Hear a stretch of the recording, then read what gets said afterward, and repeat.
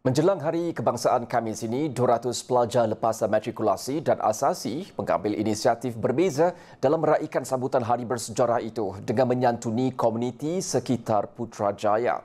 Pengarah projek Sentuhan Belia Merdeka, Muhammad Danish Khairi berkata, program Sentuhan Belia Merdeka itu membina jambatan emosi antara golongan muda dan tua sekaligus memupuk sikap menghargai perjuangan dalam memelihara keamanan negara. Ikuti laporan disediakan wartawan Fatihah Izzati. Kita nak mereka ni ada semangat patriotik melalui uh, apa orang kata aktiviti menyantuni uh, dan juga ada juga aktiviti-aktiviti yang kita nak mereka ni ada engagement uh, bersama dengan komuniti Putrajaya. Bermula dengan konsep yang menarik, simbolik penyatuan dua golongan berkenaan dilengkapkan dengan penurunan cap tangan di permukaan kain rentang khas kemerdekaan.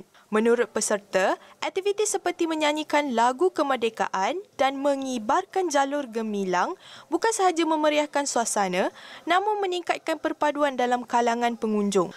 Saya rasa sangat-sangat um, aura kemerdekaan tu ada dan sebab biasanya kemerdekaan ni saya sambut kat rumah. Jadi uh, suasana meriah tu tak dapat saya rasa sebelum ni.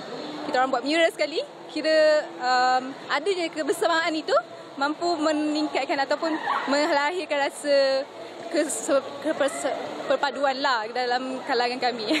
Banyak uh, banyak orang pada hari ini kan macam boleh nampak lah macam mereka belajar sejarah hanya sekadar untuk mendapat lulus dalam SPM kan. Benda ni macam tak betul-betul menyemai rasa bangga dan bangga sebagai rakyat Malaysia ni dalam jiwa mereka.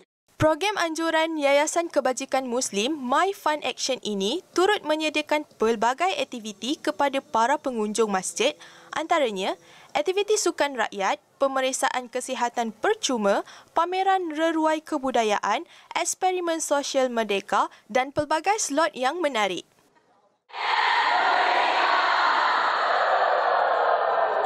Belia merupakan tonggak utama untuk masa depan negara. Jika kurangnya penghayatan terhadap sebuah erti kemerdekaan, maka hilanglah harapan negara. Sejajar dengan tema kemerdekaan pada tahun ini iaitu Malaysia Madani, tekad perpaduan penuhi harapan, kita mengharapkan lebih banyak lagi program seperti ini dianjurkan untuk memupuk semangat patriotisme dalam kalangan belia. Sekian Fatihah Izati untuk Bernama TV.